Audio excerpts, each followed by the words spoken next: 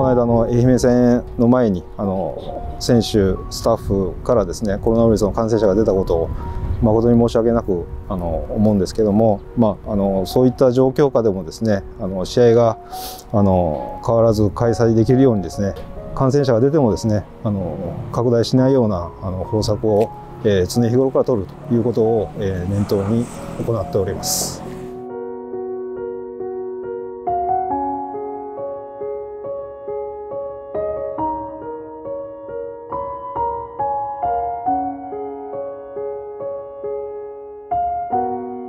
選手のスパイクとかになっていると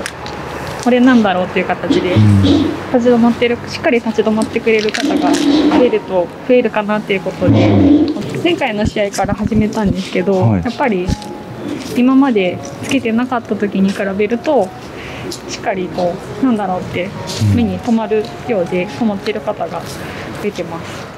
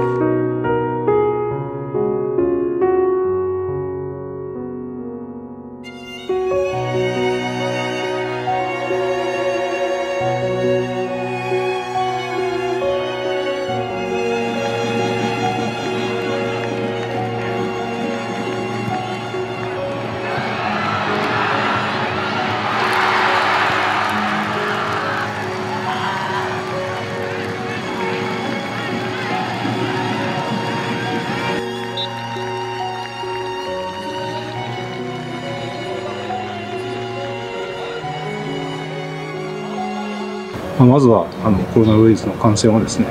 あの食い止めると予防していくということをですね念頭において近い将来ですねまたこれまで